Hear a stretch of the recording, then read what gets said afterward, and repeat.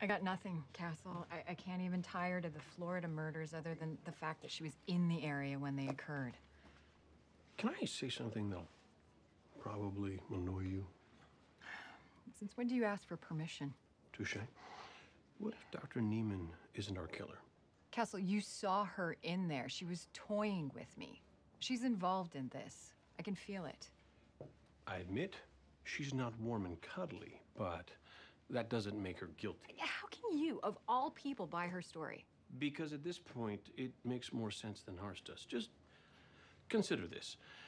All along, this killer has been one step ahead of us. No evidence, no witnesses, phantom corporations. He or she has us chasing our tail. So why suddenly does this same person order a limo placing her with Santos the night he died?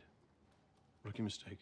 Or maybe it's not a mistake at all. Maybe Kelly Nieman is playing a much deeper game. Maybe she's so confident that we can't tie her to these murders that she's letting the trail lead straight back to her. Um, that's looking pretty unlikely. Why? Her alibi's ironclad. She's no good for either murders, but we might have found somebody who is. Told you.